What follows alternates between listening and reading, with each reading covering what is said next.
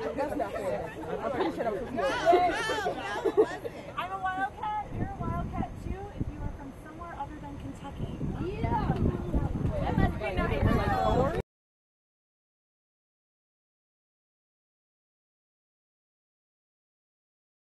I decided to go on this trip because I attended last year.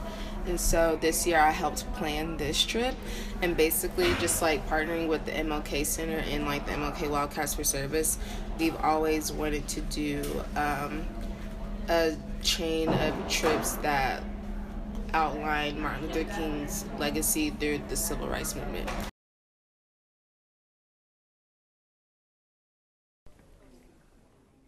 I definitely expected to learn things that I could only learn there. As far as like hidden stories, stories that maybe aren't in every history book that you ever gonna pick up. Um, just those really local things that happen and efforts made people who sacrifice that we don't know about unless you go down there and hear about them.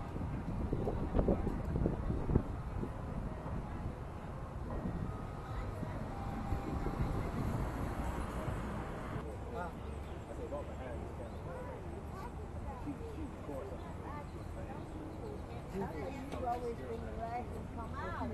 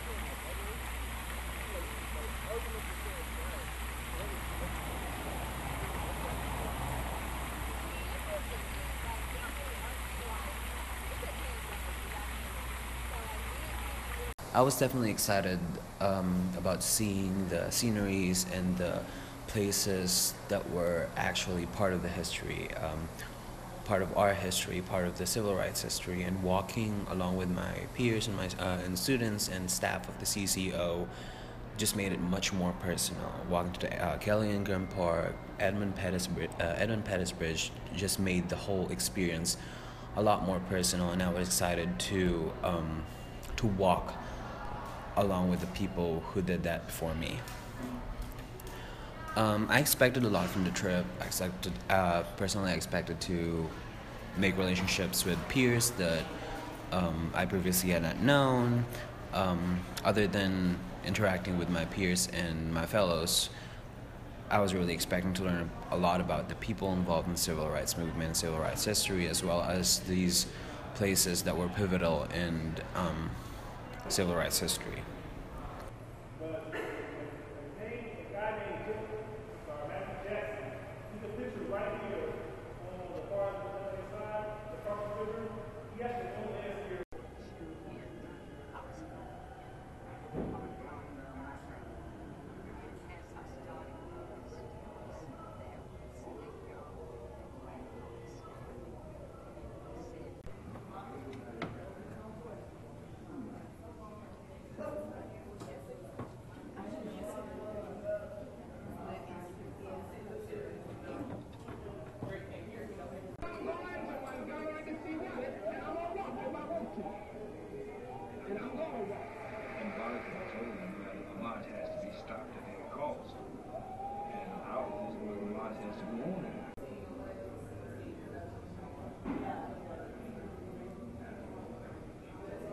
I didn't know about the tent cities that were out there when people started getting evicted because they were like trying to stand up for themselves, and I didn't know, um, you know, some of those markers like on that highway, just being able to see it, and even though we rode on the bus, like we were where they walked, and it just put it in perspective, like that long journey that they had to take over those five days.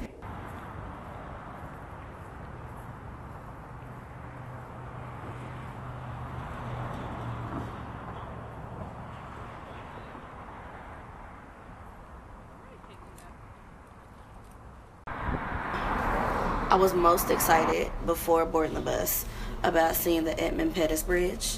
And I mean, part of it is because it's got so much hype in the past couple years since Selma was released. But at the same time, um, just knowing about Bloody Sunday and everything that happened with that, like I really wanted to cross that bridge defiantly and as a free black woman in 2017.